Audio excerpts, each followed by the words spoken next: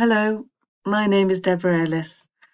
I'm a teacher in liceo in Vicenza and a textbook author for Loescher Editore and Helbling Languages. Welcome back to From Time to Time a Poem. This fifth presentation intends to be one which teachers can offer to their fifth year students, preparing for the Esame di Stato, um, some ideas which can act as an extension to existing work with the teacher, or extra materials which um, students can investigate for themselves as homework, research work for the oral exam. The poems I've chosen fit in well with work on war and conflict, or on women's rights, or on the relationship between nature and human feelings, particularly in the last poem. The title of the presentation is a line from one of the poems which I shall look at briefly, Damn the Shibboleth of Sex. Shibboleth referring to an outmoded belief or custom um, regarding women, basically that their role in war should be different from that of men. We always think of World War One as the moment when finally women stepped out of men's shadows. However, reading their poetry, we can see that this was far from a fait accompli. For us, the shibboleth of sex can also refer to the fact that women war poets are little known and rarely taught. Maybe we can redress that balance just by getting to know some of them and seeing what they can offer our programs. The talk is divided into two parts. In part one, I'll present a cluster of poems on different issues and themes.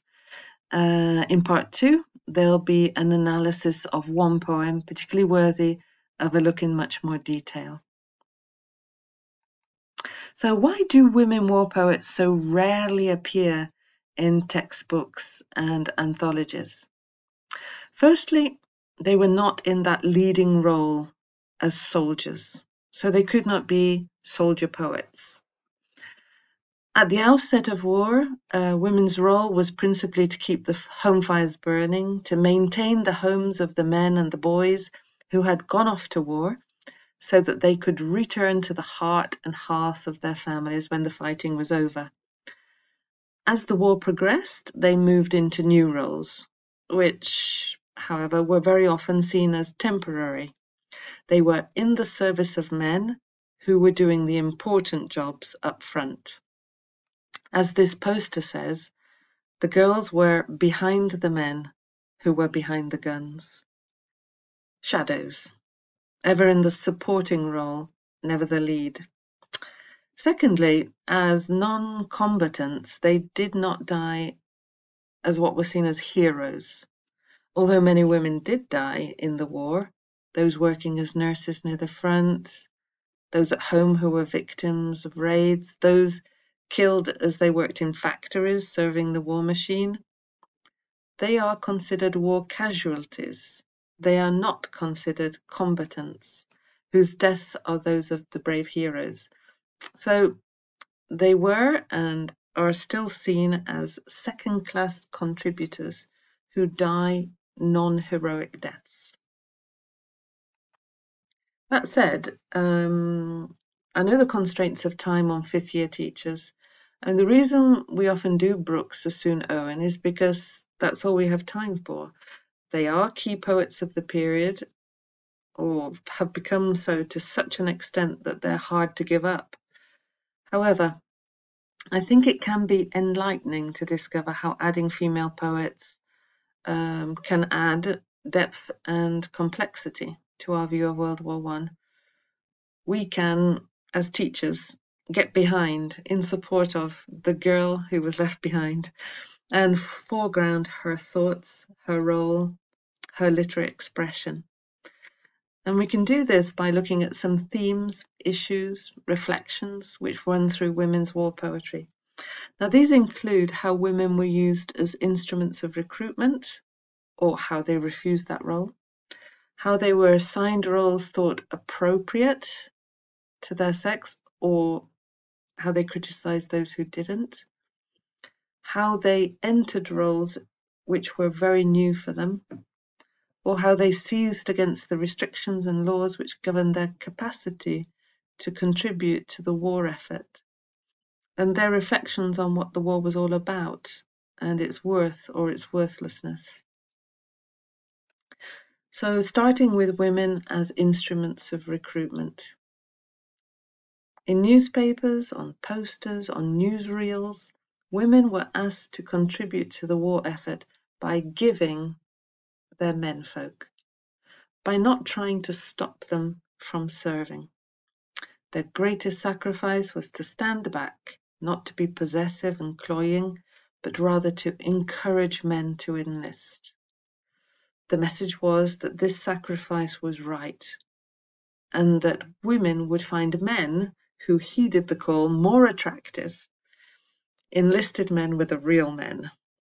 In extreme cases, women's were, women were asked to ostracize, criticize, even publicly shame men who did not enlist. And we can see both sides of this coin in women's war poetry. Regarding World War One, there are two women's names which might be familiar. Um, Vera Brittain, who also wrote war poetry, including a love poem called Perhaps, after the loss of her fiance, and Scars Upon My Heart, after the loss of her brother. And, of course, Jessie Pope. Pope is one of the women you may well know. But why is that? Do you know her through a male poet? Is it because Owen's poem Dulce et decorum est was initially addressed to her. Uh, we know her as the butt of Owen's disgust. And this here, this poem, Who's for the Game, is an example uh, of the kind of poem she was publishing and for which she was receiving Owen's criticism, uh, in which she writes precisely as an instrument of recruitment, encouraging pushing young men to join up. Who's for the game? Who's for the game, the biggest that's played, the red crashing game of a fight? Who'll grip and tackle the job unafraid? And who thinks he'd rather sit tight? Who'll toe the line for the signal to go? Who'll give his country a hand? Who wants a turn for himself in the show? And who wants a seat in the stand?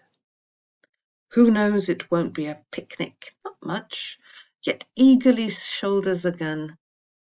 Who would much rather come back with a crutch than lie low and be out of the fun? Come along, lads, but you'll come on all right, for there's only one course to pursue. Your country is up to her neck in a fight, and she's looking and calling for you. Eh, in poetic terms, the simple rhyme scheme, the lightness of the tone, to us might seem inappropriate to talk about war, but it is perfect for propagandizing. And look how she breaks her AB AB rhyme scheme, scheme just once here in the fifth to last line to address the young men directly. Come along, lads, to cajole, to underline the shared view of what constitutes terrorism and what constitutes cowardice. And the choice of Lexis, um, referring deliberately to war as a game, as a show, as fun, I mean, it's frightening and appalling to our eyes and ears, but very much in tune with public sentiment at that time. It was what people wanted to hear. And we call her jingoistic, a propagandist, and we dismiss her verse. She's vilified, ridiculed, but we forget that Pope was much more popular, familiar, much more widely read than Owen, say, at that time. We dismiss her naive patriotism, but we embrace that of Brooke. Instead, perhaps, we should see her work as a social and cultural document, as worthy of attention as other documents such as the war posters, which give us insights into how people's minds were working or being made to work at that time. In strong contrast is Helen Parry Eden's poem. It has the title The Volunteer, which gives us expectations of a young man's willingness to become a soldier. But through the poem, we learn that the title is used ironically. Refusing the role of propagandist assumed by Pope, Eden shows us the truth behind some of the enlistments. Here, the volunteer has joined up despite having no desire to fight, despite being critical of the political and financial ends of war. And it is in the last lines of the poem that we understand why. The volunteer. He had no heart for war, its ways and means, its train of machinations and machines its murky provenance, its flagrant ends. His soul, unpledged for his own dividends, he had not ventured for a nation, nation's spoils. Why had he sought the struggle and its pain? Lest little girls with linked hands in the lane should look, you did not shield us, as they wended across his window when the war ended. The idea of shame, personal and public shame, which forced many pacifists into arms. And this fear of being shamed, of being labelled a coward, of being given the white feather, literally or metaphorically, comes across very clearly here. So self sacrifice could be staying at home to keep the home fires burning, urging your menfolk to enlist, or, as war progressed and the need became apparent, becoming an administering angel, that is to say, a nurse. In this period, the ideal man was the soldier, brave, strong, courageous, while the ideal, ideal woman was a nurse, compassionate, gentle, nurturing and virtuous, but above all, selfless. Becoming, volunteering as a nurse was seen as fitting into an appropriate role which complemented a woman's femininity rather than undermining it. The opposite of these angels of compassion were the women who had demanded their independence, the unfeminine suffragettes, or those upper class women who were not prepared to give up their lives of self indulgence, who were not prepared for any self sacrifice, who instead continued to live their lives as though nothing had happened, socializing, going out dancing, and so on. In another poem by Jessie Pope, War Girls, we can see how this idea of sweet self sacrifice is reinforced through the picture of a woman who has perhaps volunteered as a nurse. War Girls. Beneath each uniform beats a heart that's soft and warm, though of canny mother wit they show no lack. But a solemn statement is this they've no time for love and kisses till the khaki soldier boys come marching back. There, the uniform is a mere cover hiding the heart of a person born to be a mother, with all that capacity to nurture and to care.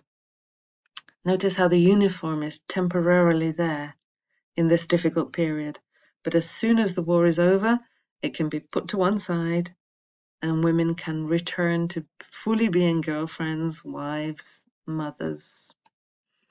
And Jessie Pope not only becomes a supporter of the war effort through her poetry, but also a supporter of keeping women in their place, saying the things that men wanted to hear at that time.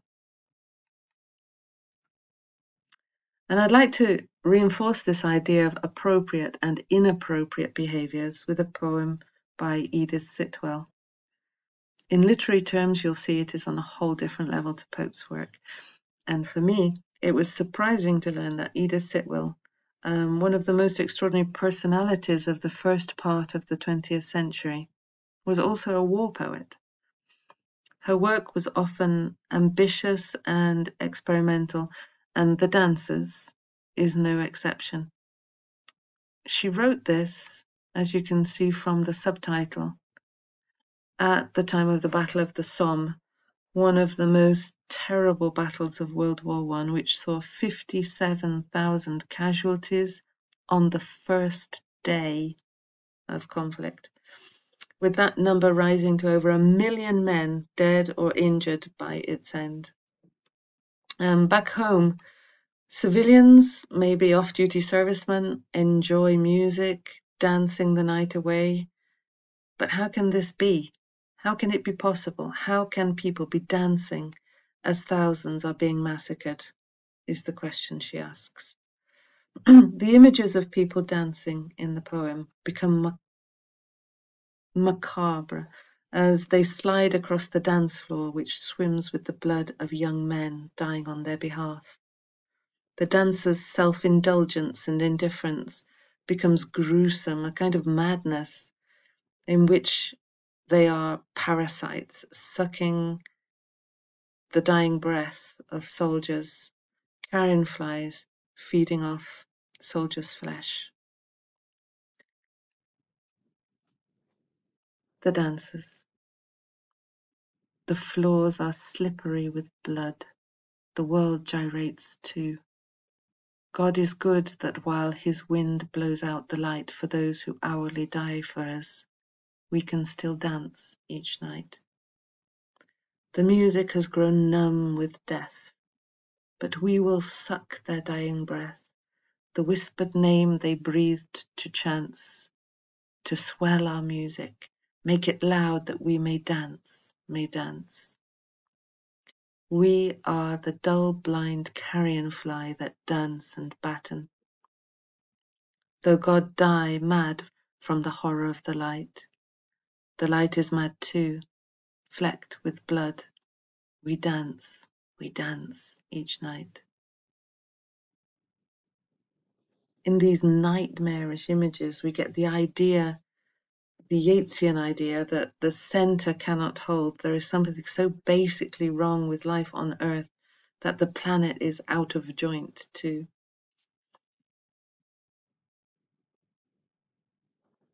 So another issue which emerges from women's war poetry is their anger and frustration at the status quo. Women were keen to support the war effort, and many hoped it would be a time when stereotypes regarding gender roles would finally be broken down. The quotation on this slide, have a look at it, is part of a surprising story. Back in 1914, a group of women doctors offered their services to the War Office, women doctors. And the War Office's reply was, go home and sit still. Women, doctors, keen to serve. And we need to remember this when we glorify this period as a time when women managed to upturn the apple cart of prejudice. Some poems by women show their frustration, uh, the fact that being born of one sex or the other could determine how much they could contribute to the war effort and how much they are allowed to live their lives. One such poem, um, which shows this frustration and anger, is this one, Drafts, which is in fact the poem um, which gave the title to this presentation. Um, in Drafts, Nora, Bom Nora Bomford um, reflects on sex and gender roles. She considers the moment of a person's conception, when his or her sex is arbitrarily determined, and wonders how that arbitrary moment can then be responsible for such huge differences in the way lives are led. led. Drafts. Sex. Nothing more constituent no greater than those which makes an eyebrow slant or fall, in origin, sheet accident, which later decided the biggest difference of all. And through a war, involves the chance of death against a life of physical normality, so dreadfully safe. Oh, damn the shibboleth of sex. God knows we've equal personality. Why should men face the dark while women stay to live and laugh and meet the sun each day? She doesn't glorify war, she refers to it as the dark, but she rails against the unfairness of men's lot compared to the normality that surrounds women's lives. She's angry that something decided by a kind of fate can determine such a huge difference, the biggest difference of all, that is living safely or risking your life each day. Uh, Rose Macaulay's poem, also on gender restrictions, is a kind of letter from all the sisters at home, uh, of all the brothers, directed to all the brothers at the front. She talks to her own brother about how similar they were as children, how good she was at their play fights, their battles between toy ships in the bath, and she talks about various childhood incidents which show that she was as strong or even stronger than her brother and shows her anger that he is at the front facing the enemy and she is at home. When we fought campaigns in the long Christmas rains, with soldiers spread in troops on the floor, I shot as straight as you, my losses were as few, my victories as many, or more. And when in naval battle, amid cannon's rattle, fleet met fleet in the bath, my cruisers were as trim, my battleships as grim, my submarines cut as swift a path. Or when it rained too long, and the strength of the strong surged up and broke away with blows, I was as fit and keen, my fists hit as clean, your black eye matched my bleeding nose. Was there a scrap or ploy in which you, the boy, could better me? You could not climb higher, ride straighter, run as quick, and to smoke made you sick. But I sit here, and you're under fire. Naively she does infer, as the poem goes on, that he, her brother, is having all the fun, while she has to stay home and knit socks. But we can really sympathize with this young woman who is bursting to serve. To, she's fit, she's strong, and she's unable to fill, fulfill a kind of vocation, her um, and do her duty alongside her brother. Of course changes did occur. Women took on new roles across the board as more and more men were called up. A huge number, as you can see here, um, filled roles in banking, finance and commerce, and it is this group who were more likely to continue in those jobs after the war ended. The largest number of uh, new women workers were those employed in munitions factories, where the girls were known as munitionettes. Interestingly, they were all forced to give up their jobs when the war ended. The government, uh, not because of the end of the production of munitions, of course, the factories switched back to their original production lines but the government had negotiated with the trade unions to ensure that after the conflict was over, the women would leave and their jobs would be once again filled by men. Hmm. The, the figures above are interesting, but they do not reflect the wide range of jobs which women had to or were keen to fill. And for more information, we can look back again at uh, another social document, uh, a Jessie Jessie Pope poem, which we men- the one we mentioned before, uh, War Girls. Here, Pope offers an excellent social cultural document listing many of the roles which women had taken on uh, in an accomplished manner. They could do the jobs just like men in adverse weather conditions, denying their delicacy, emphasizing their strength, fitness, determination, or grit and energy, shouting and whistling like men, God forbid. And here she talks about how women have finally broken free of the bonds of their sex. War girls. There's the girl who clips your ticket for the train, and the girl who speeds the lift from floor to floor. There's the girl who does a milk round in the rain, and the girl who calls for orders at your door. Strong, sensible, and fit, they're out to show their grit, and tackle jobs with energy and knack. No longer caged and penned up, they're going to keep their end up, till the khaki soldier boys come marching back.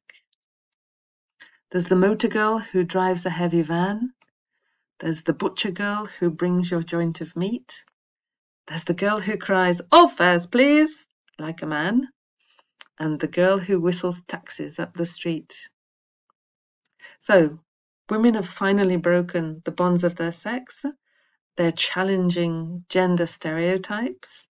But then, in a sense, she contradicts herself. She seems to celebrate this new freedom but then has to assure men that, of course, this is only until the boys come back.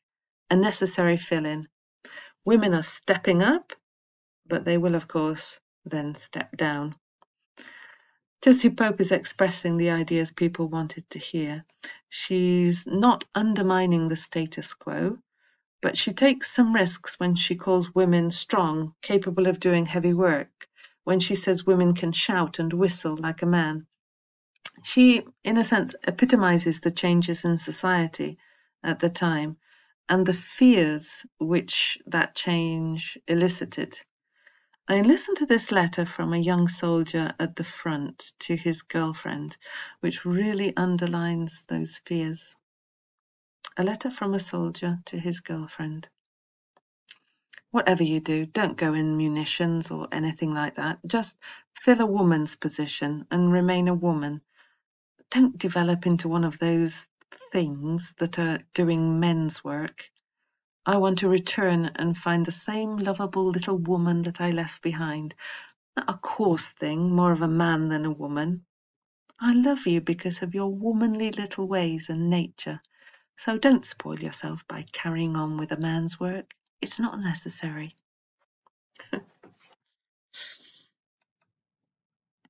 um, Madeline Ida Bedford turns her attention fully to the girls working in munitions factories, the munitionettes. Um, working in the factories could be very unpleasant, uncomfortable, and often very dangerous. The female workers had limited protection against toxic chemicals used in production, and more than 200 women lost their lives through accidents, explosions, or poisoning. Bedford's biography um, shows that although she was not working class, she may well have worked in a munitions factory, and her workmates would have been from a variety of social backgrounds. And she chooses to talk about the work in the factory from the point of view of a working class girl who, perhaps for the first time in her life, has a minimum of financial independence thanks to the job. Uh, she doesn't pretend she's serving the country for some greater good. She just says she's willing to risk her life.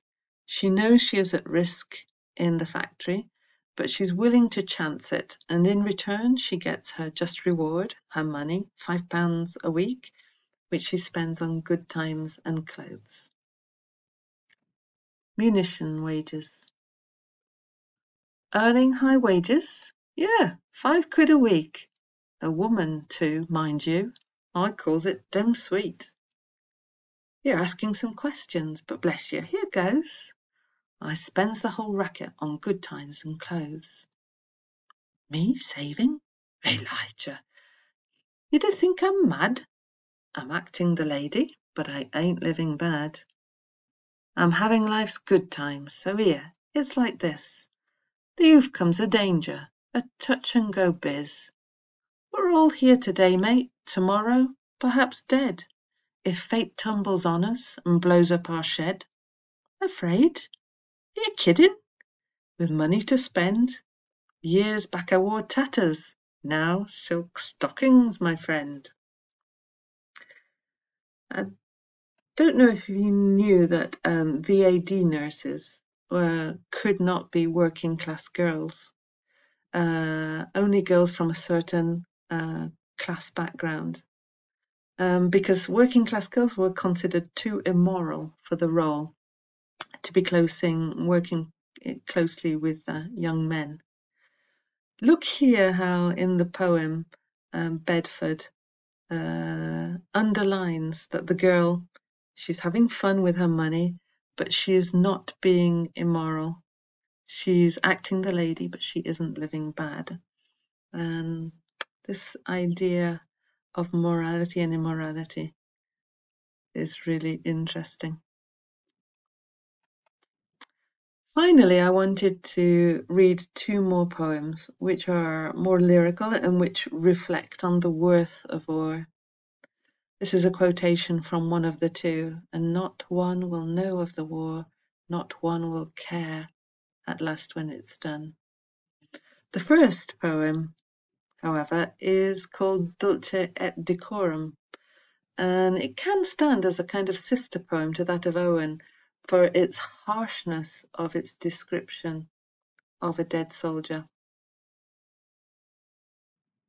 Dulce et decorum. We buried our dead. The dearest one said to each other, Here then let him lie, and they may find their place when all is done, from the old may tree standing guard near by. Strong limbs whereon the wasted life-blood dries, And soft cheeks that a girl might wish her own, A scholar's brow o'ershadowing valiant eyes, Henceforth shall pleasure charnel worms alone.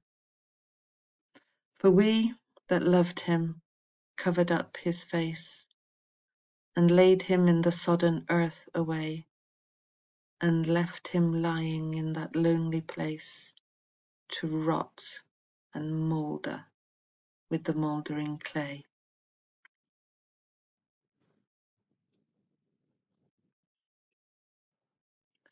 The second underlines the indifference of nature to this huge trauma that humans are living through. Teasdale sees how the passing of time will leave no trace of conflict, and that nature would not mind at all if the human race destroyed itself completely. There will come soft rains. There will come soft rains and the smell of the ground, And swallows circling with their shimmering sound, And frogs in the pools singing at night, And wild plum trees in tremulous white. Robins will wear their feathery fire, Whistling their whims on a low fence wire. And not one will know of the war, Not one will care at last when it's done. Not one would mind, neither bird nor tree, If mankind perished utterly. And Spring herself, when she woke at dawn, Would scarcely know that we were gone.